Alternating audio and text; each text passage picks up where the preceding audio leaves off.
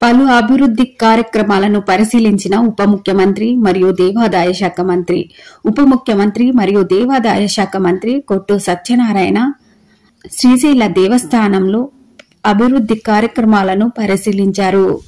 పాతాల Ganga road ప్రధాన ఆలయానికి తూర్పు భాగంలో నిర్మించదలసిపెట్టిన రహదారి ప్రవేశం క్యూ కాంప్లెక్స్ నిర్మాణానికి ప్రతిపాదింపబడిన ప్రదేశం ఆలయ దక్షిణ మరియు పశ్చిమ మాడు వీధులు శివవీధులు ఏనుగుల చెరువు కట్ట ప్రాంతము పంచమఠాలు మొదలైన వాటిని వీరు పరిశీలించడం జరిగింది.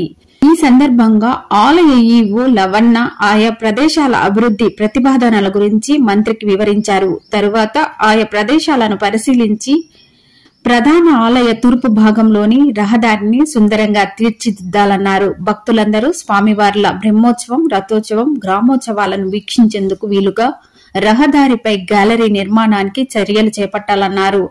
అదేవిధంగా ఈ రహదారిలో ఇరువైపులా సుందరీకరణ మొక్కలతో పచ్చదనాన్ని ఏర్పాటు చేయడంతో పాటు ఆధ్యాత్మికంగా ఉట్టిపడే విధంగా తగు చర్యలు చేపట్టాలన్నారు.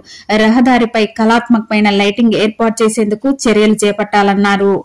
తరువాత క్యూ కాంప్లెక్స్ నిర్మాణానికి ప్రతిపాదన ప్రధాన ఆలయ దక్షిణ భాగంలో గల ప్రదేశాన్ని రుద్రాక్ష మఠ ప్రదేశం ఆలయ మాడు వీధులు ఆలయ ప్రాకారాలను ప్ర- పరిశీలించారు.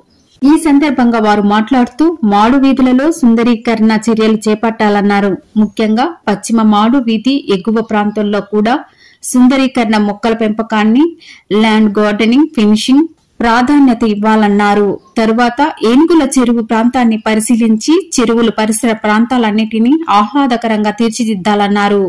అనంతరం పంచమఠాలను పరిశీలించారు. ఈ సందర్భంగా మంత్రి మాట్లాడుతూ సకాలంలో ప్రాంగణాలు మరియు పరిసరాలు ఆహ్లాదకరంగా ఉండేందుకు అవసరమైన చర్యలు చేపట్టాలన్నారు.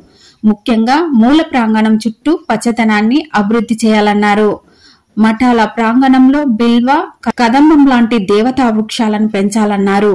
భక్తులందరూ ఈ మఠాలన్నిటినీ దర్శించుకునేందుకు వీలుగా అన్ని మూలల కలుపుతూ ఒకే సర్క్యూట్గా నిర్మిస్తూ ఏక రహదారి పనులను వీలైనంత త్వరలో పూర్తి చేయాలన్నారు.